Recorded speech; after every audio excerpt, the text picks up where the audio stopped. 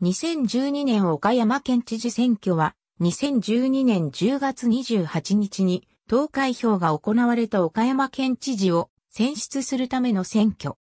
現職の石井正弘の任期満了に伴う知事選挙。その石井は5選を目指さず今回の知事選への不出馬を表明し、知事を退任。4期16年の任期を終えた。なお、この選挙後に石井は2013年の参院選に自民党公認で岡山県選挙区から参院選への実質的な蔵替え出馬を表明している。この知事選には無所属で天満や社長の井原木隆太と岡山県議会議員で出馬に伴い民主党を離党した一明子、共産党推薦の大西光一、医師の山崎俊一郎の4人が立候補を届け出た。各政党、団体の対応は自民党と公明党、それに立ち上がれ、日本の3党が伊原木の推薦を決定。共産党は党推薦候補として大西を擁立。一方の民主党は独自候補を擁立できずに民主党系の一位や推薦願いを出していた伊原木らを推薦せず、前回の知事選に続いて自主投票とした。このほか、連合岡山が伊原木を推薦している。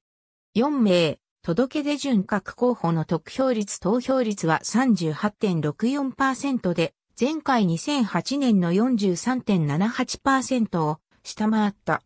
当日の有権者数は155万9984人で、投票者数は60万2770人であった。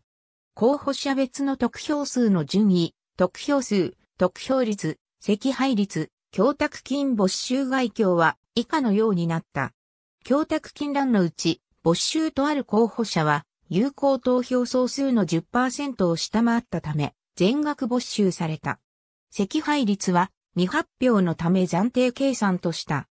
前、天満や社長の威厳木は、地元百貨店の経営者としての知名度を活かすとともに、県政運営にも経営感覚が必要とアピール。天満や社長時代の人脈を活かし、地元経済団体や連合岡山などの支持を取り付けたのに加え、支援を受けた自民党などの各政党の基礎票を確実にまとめ上げ、他の3候補に大差をつけて初当選を果たした。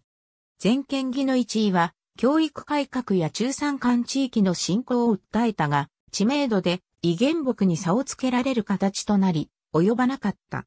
大西や山崎は全県への支持を広げられなかった。ありがとうございます。